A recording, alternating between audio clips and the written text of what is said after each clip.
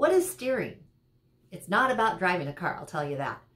Steering is actually a form of discrimination that could be something that people don't necessarily know that they're doing intentionally or having it happen to them intentionally.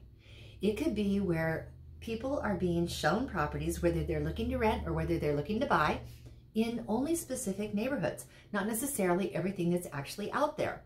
When that happens, that is a form of steering. It could be based off of the race, color, or gender of a person, or it could even be done based off of the perceived income level of the person.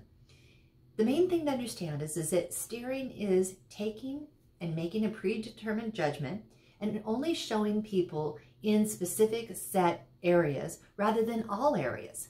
So this is a practice that we have to be very cognizant of as a real estate agent, but we also should be very careful of it when you're looking at whether you're renting in being a landlord situation.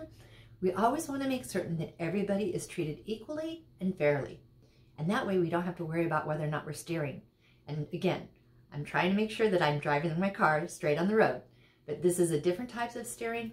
And if you think that you might be in a position where you've had this against you, give us a call. We have different resources that we can actually put you in touch with and people that we can put you in touch with. As always, I'm Call Krista, OIC Real Estate Services. We're here to help you see your real estate dreams come true. Hope you learned something. Pass this on to family and friends. Subscribe to our YouTube channel. And as always, join us on Facebook. We love having you. Have an amazingly blessed day. Bye.